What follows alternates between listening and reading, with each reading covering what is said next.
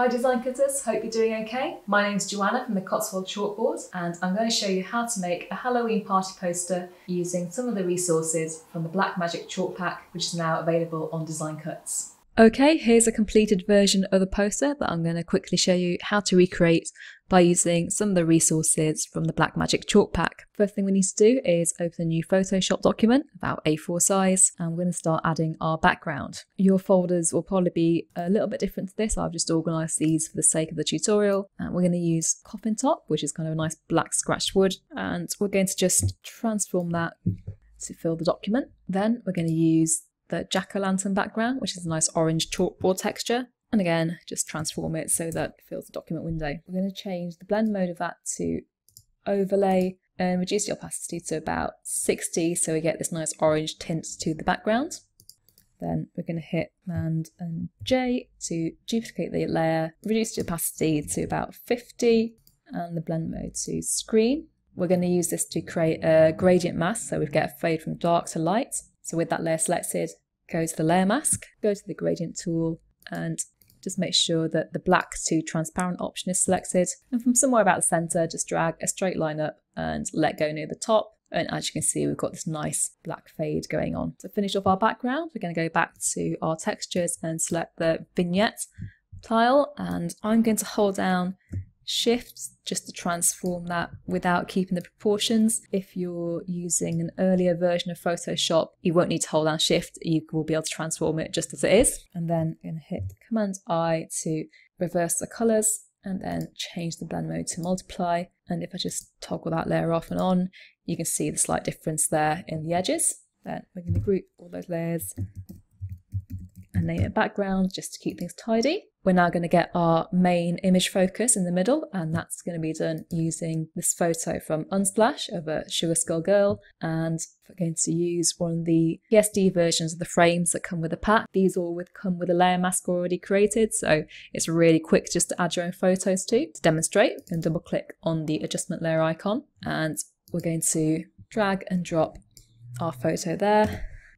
Just see that we need to adjust the size slightly.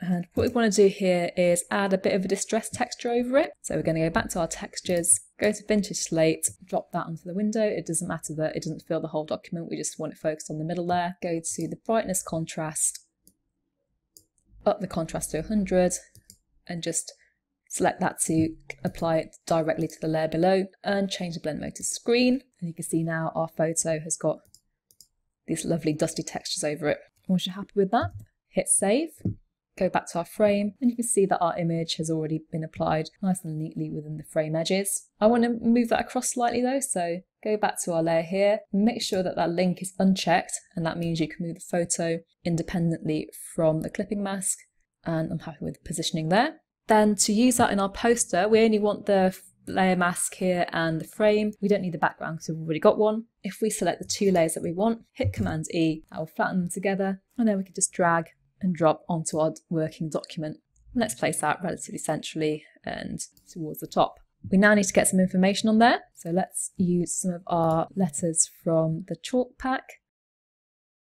Then select all those and reduce the size slightly. And then let's just move them around to spell the word party.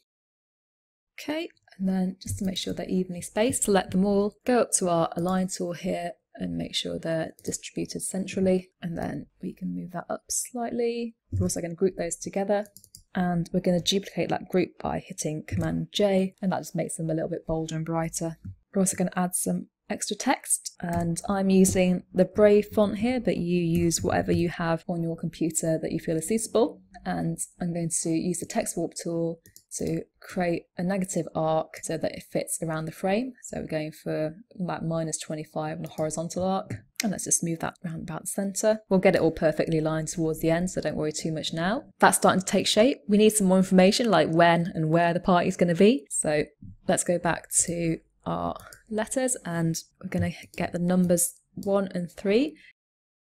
These Gothic numbers are being given away as a freebie for you to use on your own Halloween designs and they've also been added automatically to the existing chalk pack, so you will get those within the pack as well. Now it's going to finish adding a few of these details.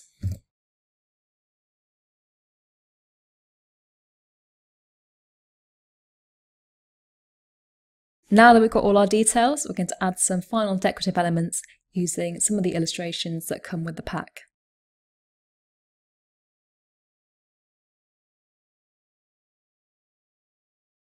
We're going to change the colour of these stems to a sort of dark green and you can change any of the colours of these illustrations by using the hue saturation adjustment layer, clipping it to the layer directly below and hit colorize.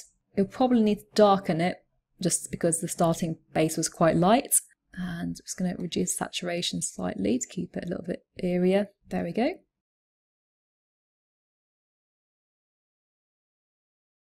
We want to make this cobweb a little subtler, so we're going to change the blend mode of that to overlay, duplicate a layer and change the new one to screen and drop the opacity down to about 50% opacity and we have a slightly more subtle cobweb there.